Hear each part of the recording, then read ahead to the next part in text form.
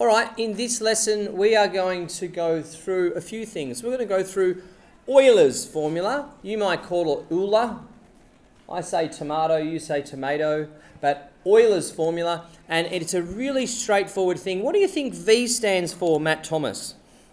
Um, V would the number of vertices. Ah, vertices. Okay. Now, and E, what do you think that stands for, Mr. Peng?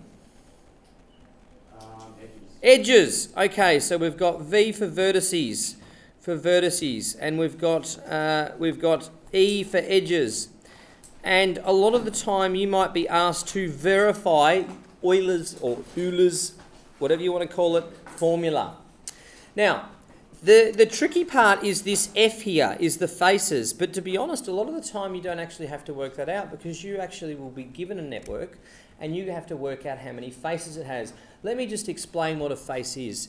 Can First of all, over here, how many vertices do we have? We've got one, two, three, four, five, ed- uh, five vertices. Okay, so we've got five vertices, and of course you can see that that's, that's also here. This is my graph. Now from there, we've got how many edges? Well, you would just go ahead and count them. One, two, three, four, five, six, seven. Is, is it seven correct? Yeah. It should be correct because it's there anyway. All right, and then what we can do is now I'm going to tell you that it has four faces. This network has four faces, but I'm going to show you that we can we can work out the faces using Euler's formula. So Euler's formula is this thingy here, V minus E plus F equals 2, and it's probably the only thing you need a calculator for. But if you can't you work that out, a simple thing like that without a calculator, then you're probably struggling a little bit. You probably shouldn't even be doing maths at all. Okay. It's rough, but it's true. Okay. Now, let's do it. Let's do it in our head. Okay, we've got V minus E. So we've got 5 minus 7. And then we've got plus our faces is equal to 2. Now, 5 minus 7 is negative 2. Negative 2 plus F is equal to 2. Now, what I would then have to do is add 2 to both sides to get F by itself. And then F is equal to 4. So there are four faces to this network. Now, what is a face? A face is when we have, now it says here, you'll have discovered that there was a connection between the vertices, edges, and faces of a connected planar graph. Planar. That's why we've actually learnt this whole planar business. Remember that a graph which is planar, there is no there is no crosses. Can you see like this is this graph planar? No, it's not, or network planar. But of course, if I was to if I was to rub one of these these out and leave this one here, then this network, which is isomorphic, is now planar. Okay. So that's why we actually dealt with this whole uh, word planar to begin with. So this network is actually more about shading. Now you can see here that this shaded region is one face.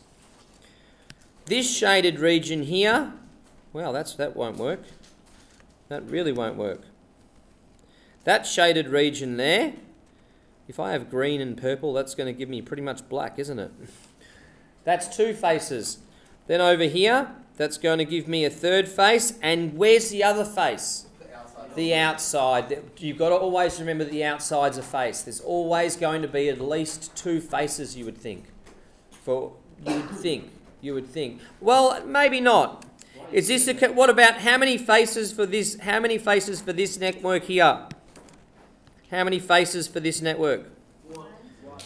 Well, let's have a look at the edges. How many edges are, have we got? Two. Two edges. So we've got, and how many vertices? Two vertices. Two. So we've got V minus E, which is 2 minus 2 plus F, Isn't one edge? uh, one edge. That's correct. Sorry. Yeah, I was, So- I was confused. 2 mi- is it 2 minus 1 plus F is equal to 2. So I've got um, 1 plus F is equal to 2. How many faces do we have? No. No, you are made 1 plus 1 is equal to 2. Can you see here that the, the only face for this network that we've drawn here is the outside? Does that make sense? Oh, that's a trick question, I see. Uh huh. Uh huh. Now, Now, what we're going to do now is you must remember that the outside of the graph is counted as one face, as we just said. Now, of course, this is the stuff we're looking at it from 10C, and we sort of skipped it a little bit and had a look at D and E. But I'm going to pause this video now, and I'd like you to redraw both of these graphs. I'd like you to make them planar, because that's the only way Euler's, form, Euler's formula uh, applies. And then from there, what I'd like you to do is I'd like you to work out and or prove, verify Euler's formula, and in other words, how many work out how many faces there are. Okay, so I'm going to pause it now. Have a go at that. All right, so just quickly, uh, you should have had a go at this. Now I'm going to unpause my little uh, projector thing here, and and hopefully, uh, voila. This is basically what we're talking about when proving Euler's, Euler's formula. You label the vertices or, or find how many vertices you've got, six. Um, how many edges? Well, I've counted the edges myself, which is nine.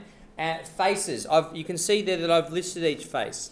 Now, don't forget the outside. So you can see over here that the outside face for this one is number five, and the outside face for this one is number six.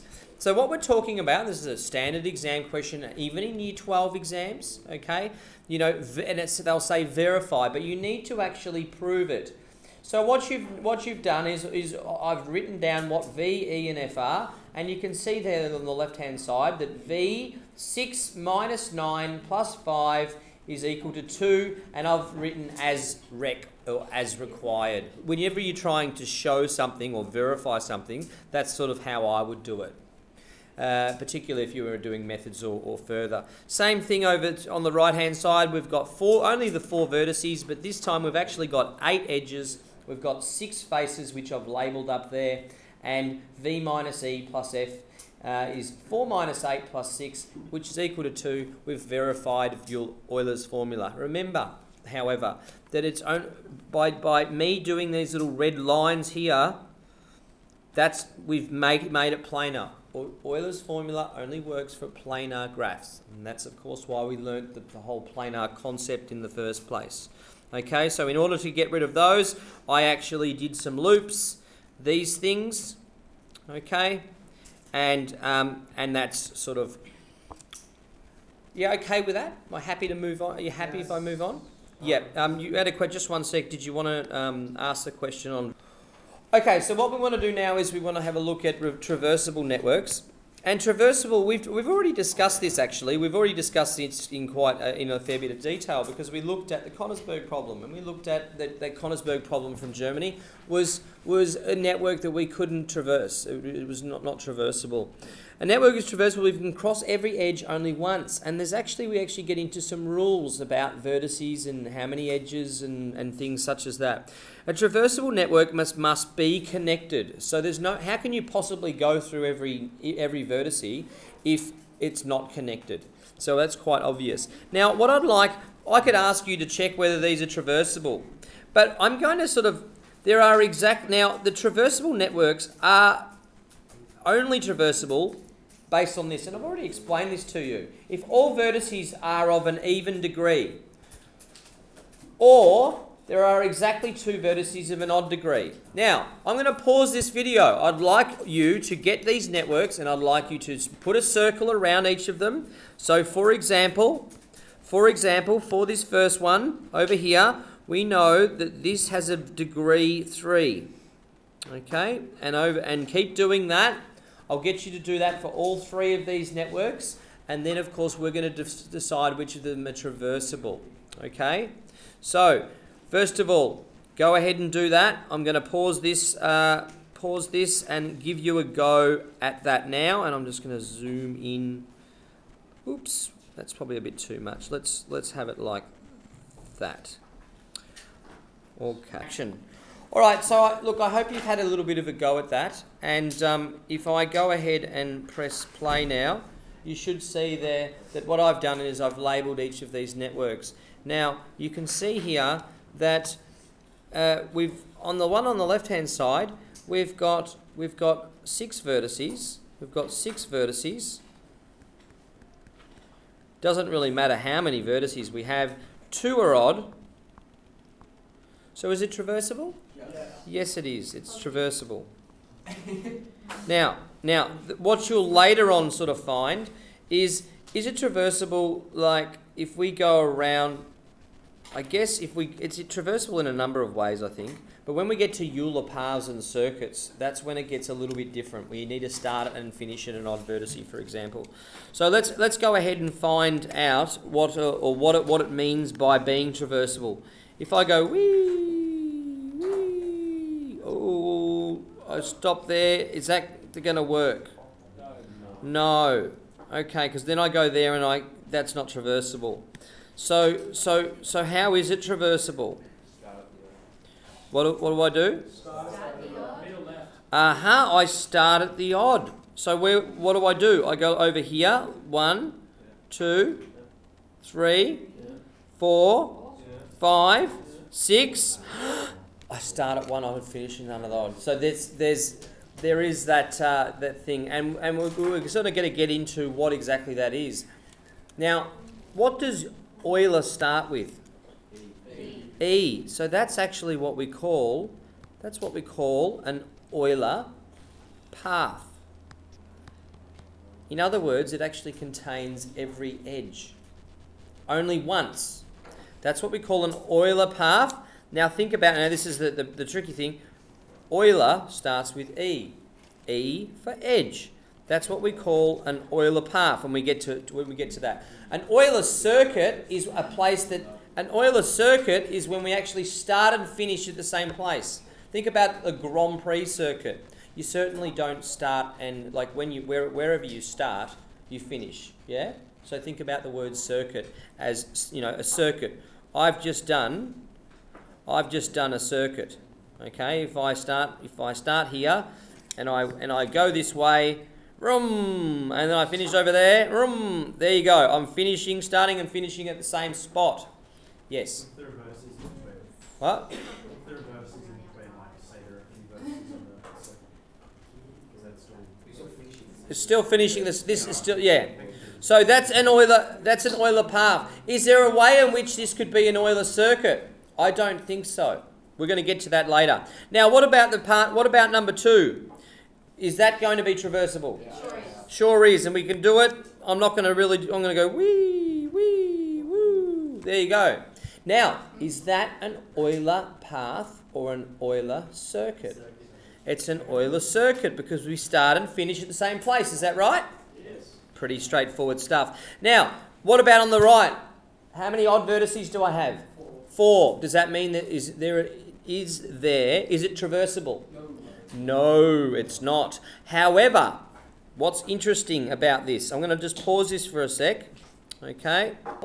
Okay. So we've just had a little discussion, and Cam, can you just tell me how I could make? We've just discussed that the one on the right is not traversable, and as it turns out, is no Euler's path or circuit. How can we make this one uh, traversable? Um, you can put in another edge Yep. that goes between the two odds. Good, and it doesn't really matter which two odds is there because there's there's four odds. So what we can do is we can just go, whee. There you go. So therefore, this five becomes a six. Do you agree with that? And then this three becomes a four. And then how many odd vertices do we have? We have two odd vertices. So therefore, there are exactly two odd vertices. It is traversable. Now, I'm not going to bother going through that network and showing you why it's traversable. You can go ahead and do that in your own time. Now, all right, the last thing I'm going to cover, in it, and I've already covered uh, it, it sort of partly anyway, is we've got Euler paths and circuits. As we discussed, a circuit starts and finishes at the same spot. A path is, of course, when you can start and finish at a different spot. Now, remember that it's going, a, a Euler path includes every edge just once. And just think about it every edge, edge for E. Okay? Euler edge. A Euler circuit is an Euler path that just starts and finishes at the same vertex. We've been through this. How do we know that we have an Euler's path or a circuit? Well, an Euler's an Euler path exists when an Euler circuit only exists in the case where all the vertices are even. Okay, they have to be even. Euler's. So, for example, let's have a look over here. One, two, three. So this has a degree three. This one has a degree two. This one has a degree four. This one has a degree two. This one has a degree three. Okay. Now we can see there that there's two. There's two odd vertices. So I could go like this. Um, oh, let's say. Let's say here. I can go like this. Mm, how are we going to do it? Like, let's go there. Let's go there. Let's go there. Let's go there. Let's go there. Let's go there and there. What's what have we just done? That's. Eu- Euler. Euler. Path. Path. That's exactly right. Now, what about this one? Let's have a look. We've got, let's have a look. We've got two. We've got two. One, two, three, four. Four. We've got two. What can you tell me about all of those vertices? They are all even. So Euler's circuit will exist. Now I could go ahead. Now remember that you have to cover every edge. We then get into a, what's called a Hamiltonian path where we have to cover every vertice. But because we've got to cover every edge, so this postman has to go up every street, but this postman has to start and finish at the same place. Now, as it turns out, this postman could do it a number of ways, but a lot of the time, so let's have a look. Let's go, let's go to, let's say postman starts at D, and, and D is for Dodgeville. Okay? He goes from Dodgeville, he goes to, I don't know, Eaglemont. He goes to Craigieburn. Then he goes to Alphington. Then he goes to Brunswick. Then he goes back to Craigieburn. And then guess what? He's finished at Dodgeville. There you go. What's this? It's an Euler's Oilers. Thank you. And you can see, and of course, shh. I know that it's uh, some points to remember. Euler circuits will only be possible in a connected graph where all vertices have an even degree. Didn't we just discuss that? Euler's paths. Euler paths will only be possible in a connected graph starting at vertex A and ending at vertex B when they are only odd vertices. Are we okay with that? There you go. That's 10A to E. Now, I'm not going. Should I go through Hamilton's? I don't think so. I think I should probably stop there. But you, uh, is that uh, is that okay? Are there any questions before we before we? Yeah, there's about 10 minutes. All right. No questions. All right. Well, thank you for your attention, and we'll stop it there.